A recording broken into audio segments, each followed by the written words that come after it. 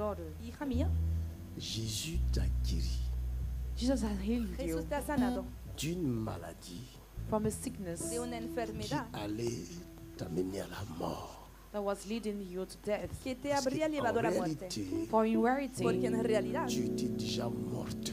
you were already dead. y ya estabas C'est muerta. ce que j'ai vu dans le domaine spirituel. This is why I've seen in the spiritual way. del vu Espíritu. morte.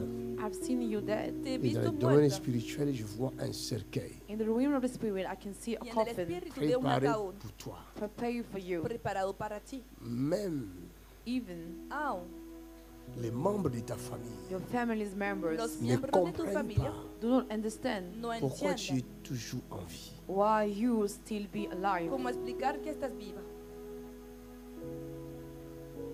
Oui, c'est vrai. C'est vrai? Ella lo confirma. She confirms it's true.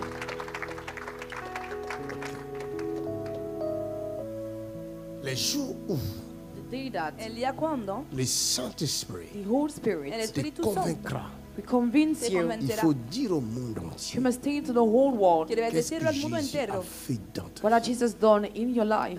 J'étais tu pour ça aujourd'hui et Tu hier. étais venu pour ça. Hier, Yeah. mais j'ai pas eu le temps. Et aujourd'hui aussi, j'étais venue pour. C'est pour ça que je suis revenue encore aujourd'hui parce que j'ai Dis-leur pas. Then tell them, Entonces Dis-le. diles, tell them, Regarde la caméra ici. look at the camera. mira la aquí. Euh, soyez bénis dans le nom du Seigneur Jésus. Et moi, excusez-moi, je voulais dire merci à Dieu pour euh, le miracle qu'il a opéré dans ma vie et surtout euh, à travers son serviteur, Papa JP Makonzu. Je voudrais vraiment que le Seigneur continue de le remplir de sa grâce afin qu'il continue de faire du bien aux enfants de Dieu. Et mon, mon témoignage, c'est tellement fort et long. Je vais, je vais peut-être faire des... Je vais, je vais raccommoder et puis en fonction, on comprendra.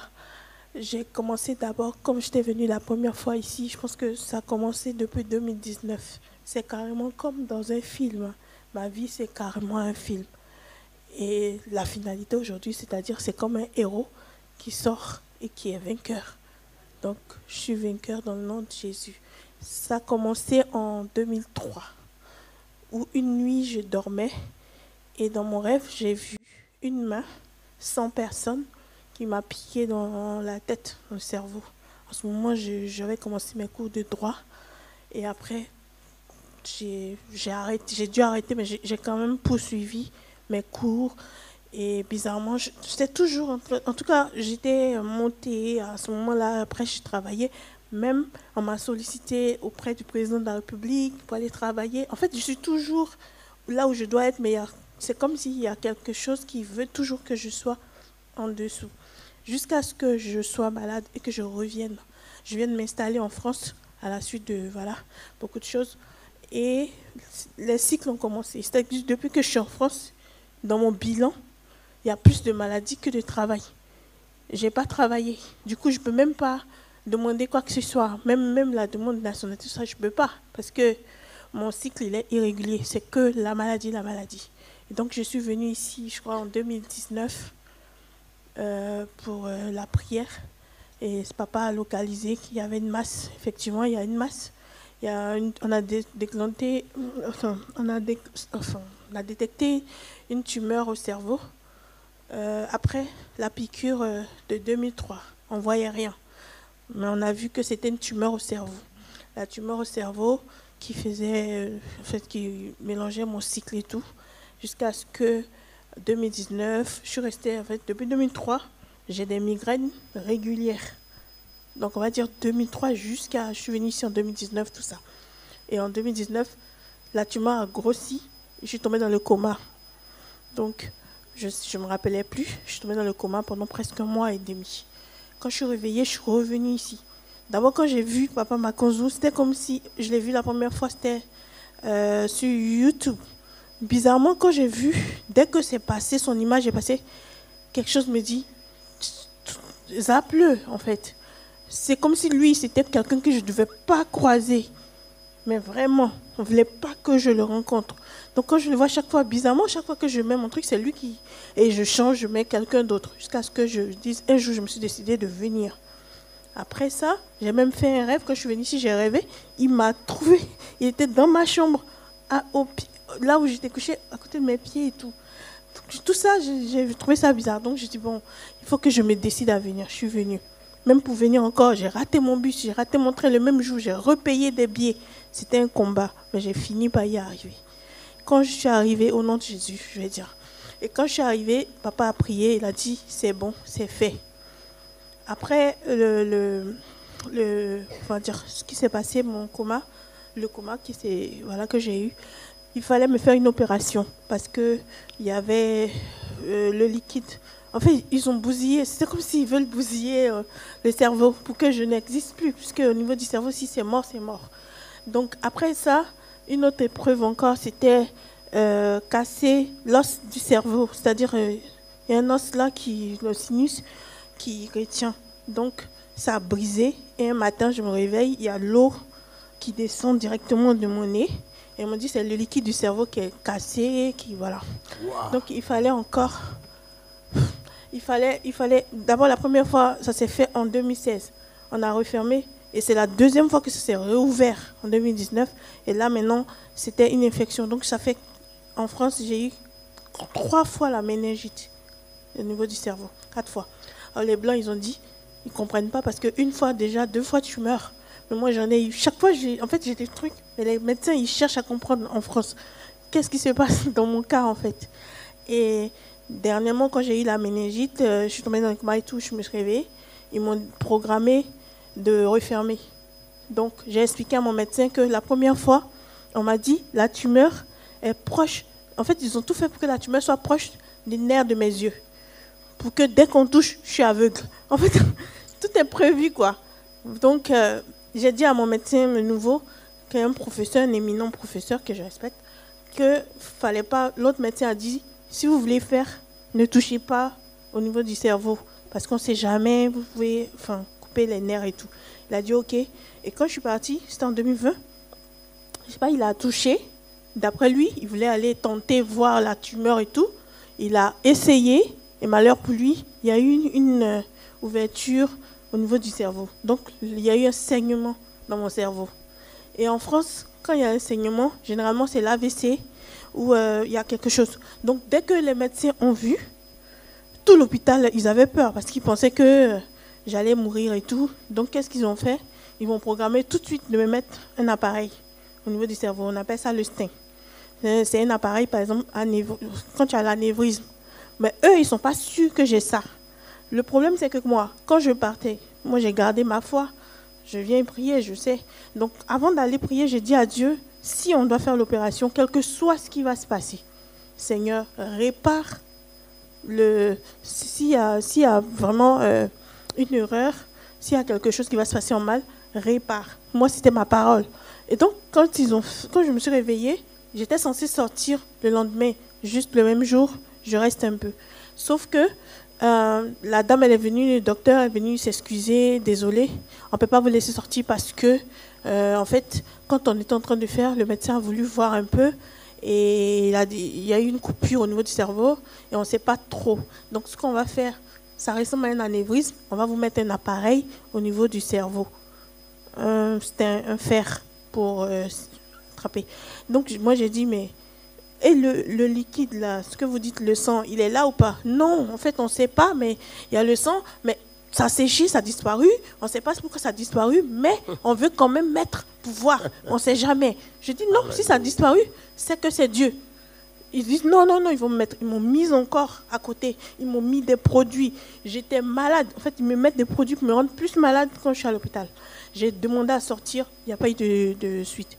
Et maintenant, les médecins venaient négocier avec moi pour me mettre l'appareil. Jusqu'à ce que le médecin euh, principal vienne me dire, négocier avec moi et tout. Il voulait me mettre l'appareil. Moi, j'étais tellement paniquée, je pleurais.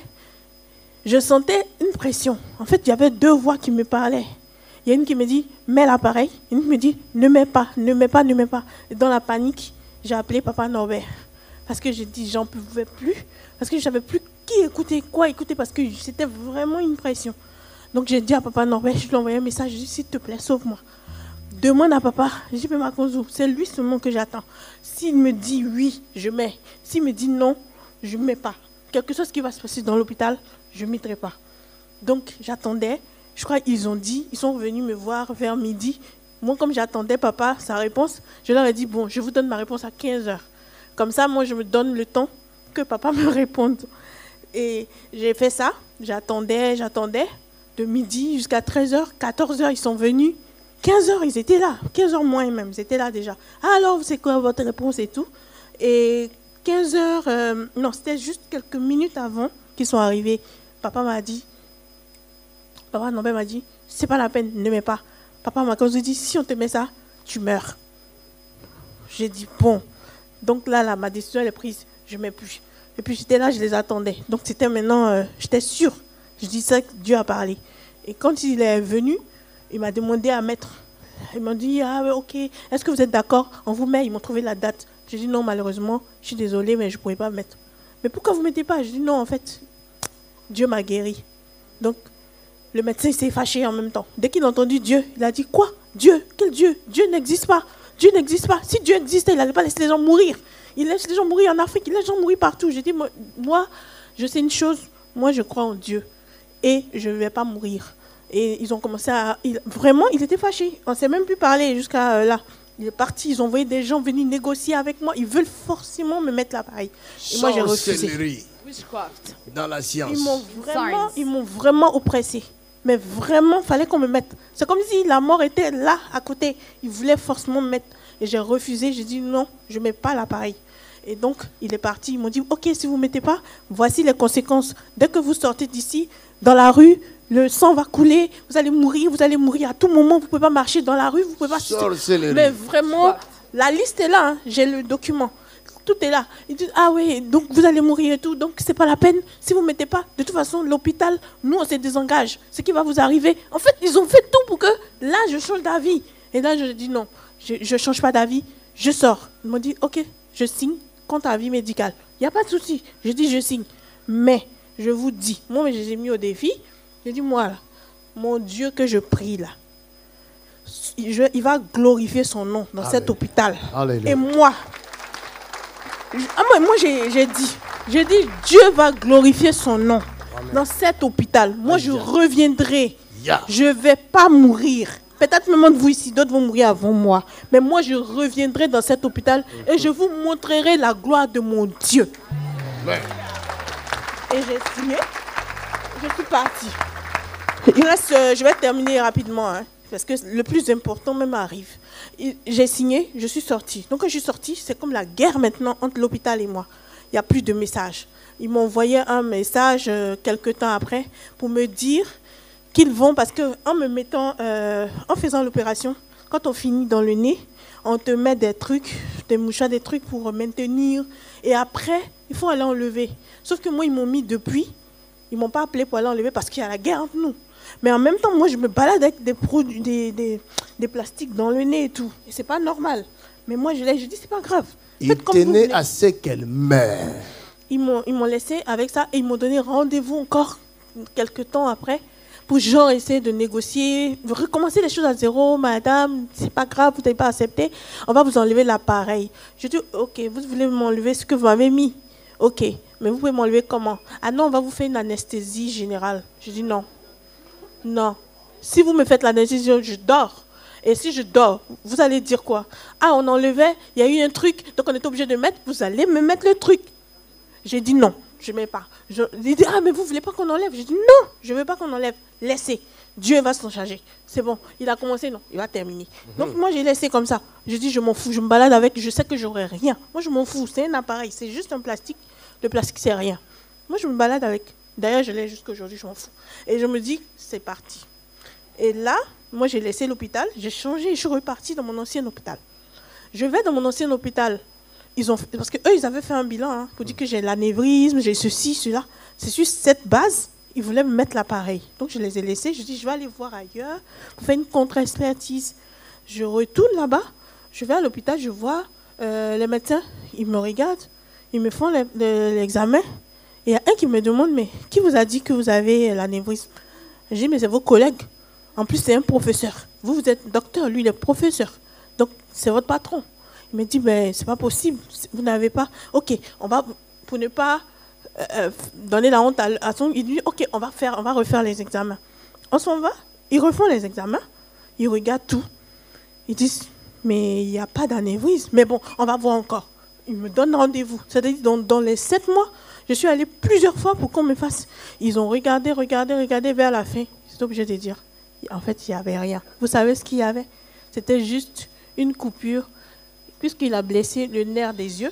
Donc, le nerf des yeux, il y a eu un saignement au niveau des yeux. Donc, c'était une blessure ophtalmique pour laquelle ils allaient me mettre un stem pour me tuer, juste pour ça. Si c'était en Afrique, découvert. Il y a longtemps, j'allais comprendre. Mais en Europe, chez des professeurs, des professeurs réputés, des scientifiques extraordinairement extra. Ah! Maudit soit l'homme qui se confie à The man who trusts into another man. Et ensuite, ma fille, Et, euh, ensuite, il a dit, le méde- les médecins ont dit, ils ont fait même une réunion, ils m'ont dit, bon, revenez, on va faire une grande réunion entre nous et puis on va décider. Je dis, ok, moi, il n'y a pas de souci, moi, j'attends. Ils sont allés, ils ont fait la réunion encore et ils ont mis du temps, du temps, du temps à me répondre. Ils avaient beaucoup de mal à trouver que leurs collègues avaient fait un faux diagnostic. Mais c'était difficile pour eux de le dire. et ils les cachent toujours. Moi, Ils savent je- cacher leurs défauts, leurs erreurs. C'est ça. hide their mistakes. Donc moi, je suis restée, j'attendais, j'attendais, j'attendais. Et un jour, ils m'ont dit, OK, venez, on va vous donner, euh, on va vous expliquer un peu. En fait, vous n'avez pas, on n'avait pas besoin de vous mettre le stin parce que le stin, en fait, c'est un appareil qui est, qui est euh, à vie. Et ça vous condamne à vie. Et puis, c'est irréversible. Si on vous met, on ne peut jamais enlever. Donc, ça vous condamne à avoir des migraines tout le temps, en tout cas, à être toujours mal.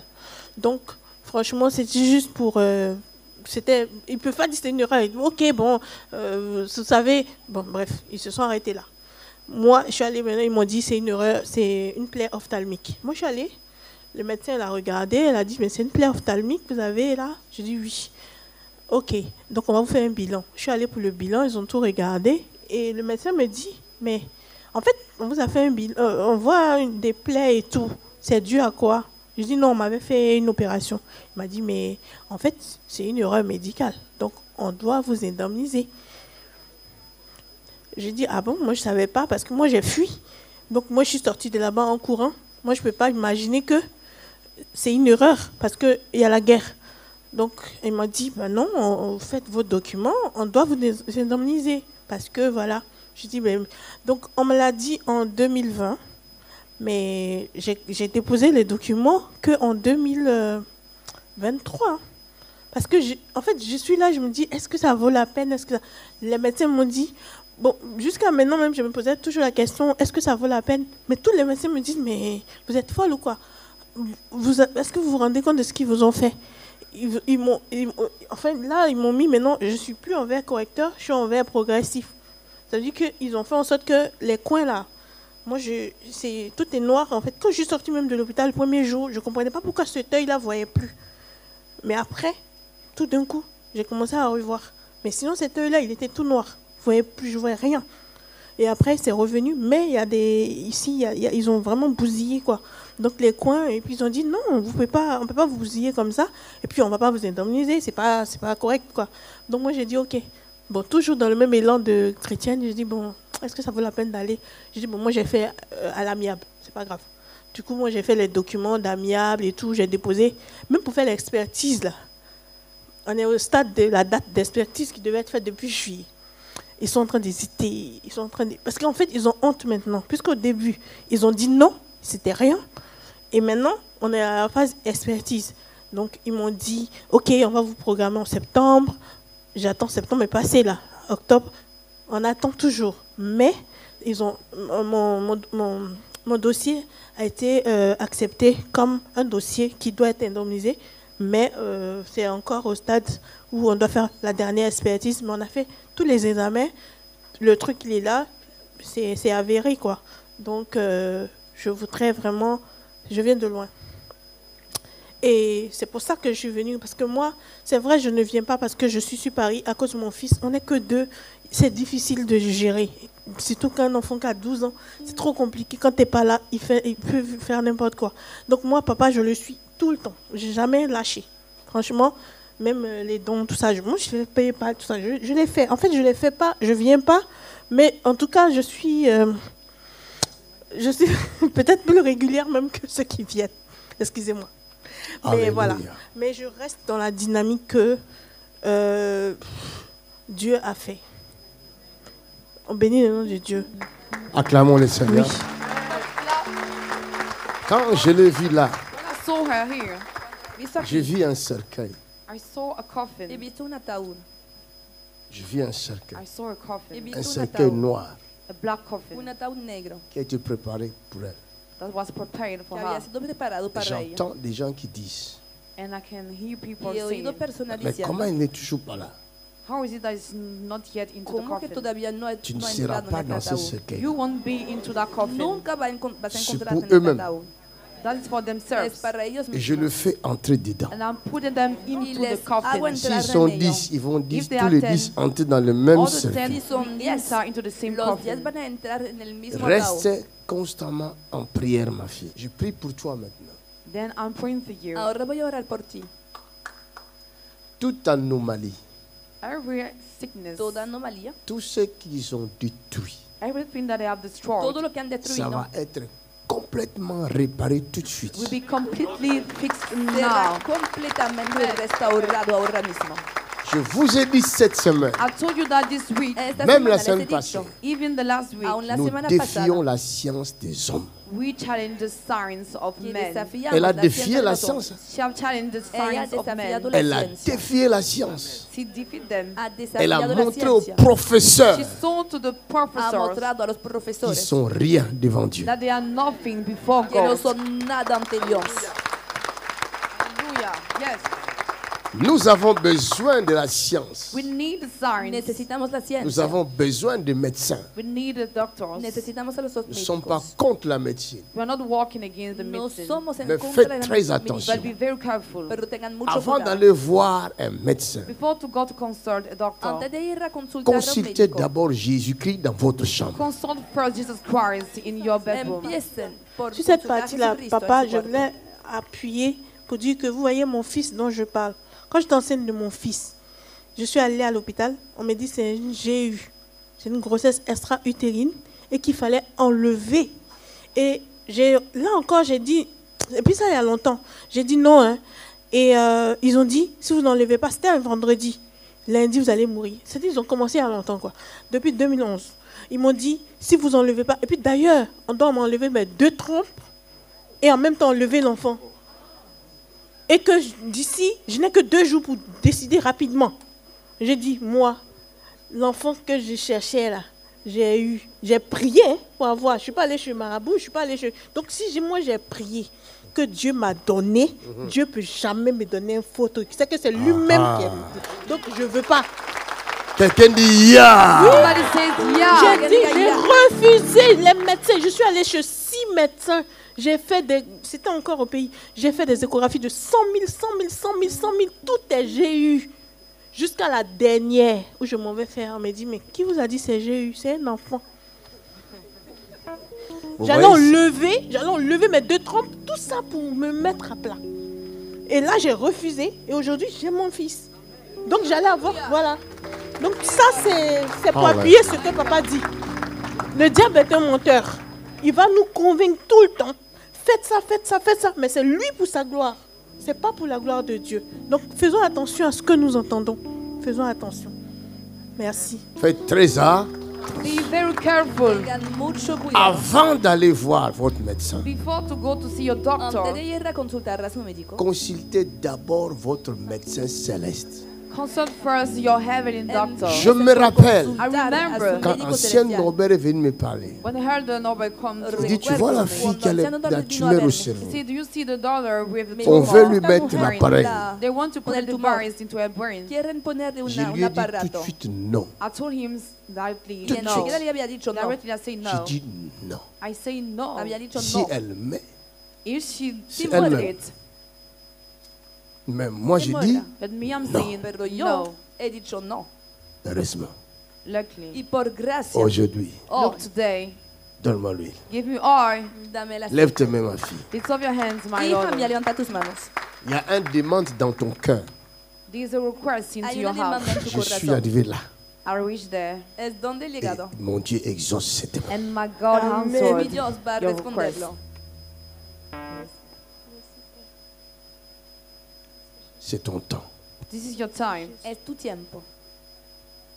Et je brise tous ces liens maléfiques And I break all those evil de la famille todas your estas family ataduras que te maléficas lié de tu that familia were bound in you. comme un sacrifice. like a como sacrifice. un Je brise sacrificio. ça I break them au out nom rompo de Jésus de Nazareth. in Jesus' name. En el Tu nombre n'es de pas Jesús leur Nazaret. sacrifice. You are not the Tu ne sacrifice. seras pas leur You sacrifice. will never be the No Ils sacrifice. se sont trompés. They have deceived Se han Tu themselves. vas servir le You ténèbre. will serve the Lord. Vas a Tu vas al servir Señor. le ténèbre. You will serve the Vas Lord. a Reçois servir cette al Señor. puissance. Receive this power. Reçois cette poder. onction. Receive this Recibe anointing. Take it now. Receive it Dans le nom now. de Jesus. Nom de En Jésus. el nombre de Jesús.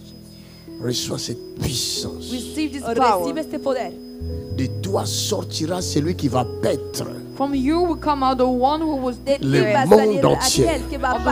Tu comprendras. You will understand cette puissance this power en poder. toi. Within you. Tu comprendras. Tu comprendras.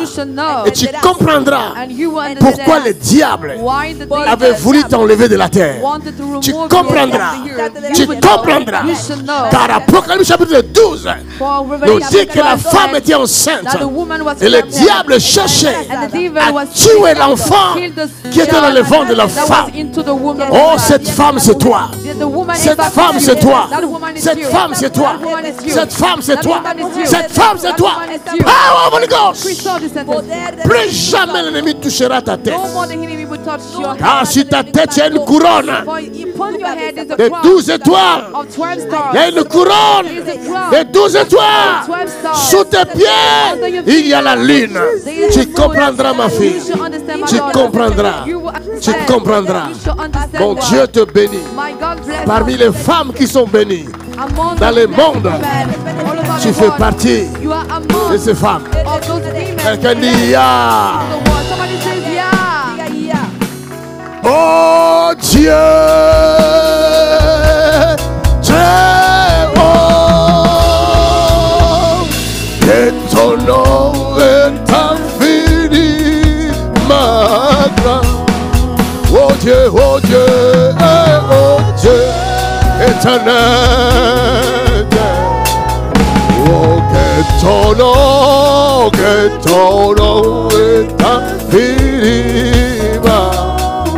ta majesté s'élève, oh, ailleurs. Something is open.